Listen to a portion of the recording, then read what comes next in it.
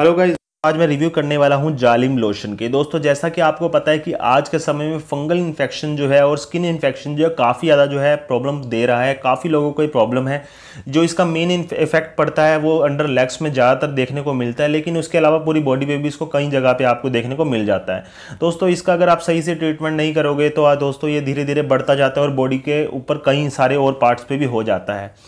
दोस्तों, इसको आपने ख़त्म करने का जो सबसे जो बेहतरीन तरीका जो है, वो तो आपको रहता है कि आप किसी अच्छे जो है स्किन डॉक्टर को दिखा के और वहाँ से ट्रीटमेंट लें। लेकिन जो है, शुरुआती तौर पर जो इसकी फ़र्स्ट एड में आमतौर पर देखा जाता है कि जालिम लोशन लोग यूज़ करते हैं और उससे आपको असर भी काफ़ी अच्छा मिलता है। लेकिन दोस्तों, आपको इसको सही तरह से इस्तेमाल करने का तरीका क्या है, ये नहीं पता है। दोस्तों, आज मैं इस वीडियो में आपको फुल डिटेल में बताऊँगा किसको किस तरह से आपने इस्तेमाल करना है? और दोस्तों, इससे आपको क्या क्या फ़ायदे मिलेंगे और क्या दोस्तों इसका कोई साइड इफ़ेक्ट तो नहीं है? फुल डिटेल में जानेंगे तो चलिए दोस्तों स्टार्ट करते हैं। सबसे पहले मैं आपको इसके फ़ायदे बता दूँ। दोस्तों, ये फंगल इन्फेक्शन को ख़त्म करता है। दाद खाज खुजली के लिए काफ़ी कारगर साबित होता है। लेकिन अगर आपको फंगल इन्फेक्शन जो है, वो काफ़ी समय से, दो या तीन साल से है तो मैं आपको रिकमेंड करूँगा कि पहले आप स्किन डॉक्टर को दिखाएँ। लेकिन अगर आपको जो है नया नया ही आपको ये इन्फेक्शन जो है हुआ है तो आप इसको फ़र्स्ट एड के तौर पे लगा सकते हैं और ये काफ़ी अच्छा रिज़ल्ट देता है। दोस्तों, मैंने इसको इस्तेमाल किया है। मैंने काफ़ी सारे लोगों को रिकमेंड भी किया, उनको भी काफ़ी अच्छा इसका रिज़ल्ट मिला है।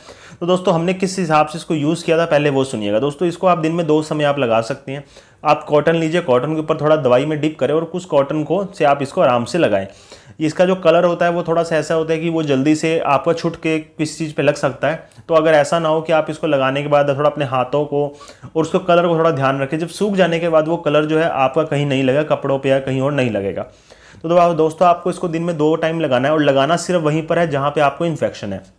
उस इन्फेक्शन के बिल्कुल साथ साथ जो है, उसके बाउंड्रीज पर भी उसको लगाना है, ताकि वो आगे की तरफ़ और ना बढ़े। पर लेकिन ज़्यादा जहाँ पे आपको इन्फेक्शन नहीं है, वहाँ उस एरिया में आपने उसको नहीं लगाना है।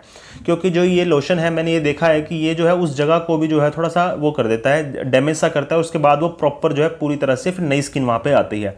तो इसका ये मेथड है तो इसलिए आपने एक्स्ट्रा और कहीं पर नहीं लगाना है। दोस्तों अगर इन्फेक्शन जो है आपके प्राइवेट पार्ट्स के या फिर कोई प्राइवेट एरिया के अंदर है या नोज़ पे या आइज़ के आसपास है तो दोस्तों मैं इसको आपको बिल्कुल भी रिकमेंड नहीं करूँगा कि आप इसको वहाँ पर लगाएँ। एक तो प्राइवेट पार्ट्स पे आप नहीं लगा सकते हैं, क्योंकि इंटरनली यूज़ के लिए दोस्तों इसको सेफ़ नहीं माना गया, इसको आउटर बॉडी पर आप स्किन पर लगा सकते हैं।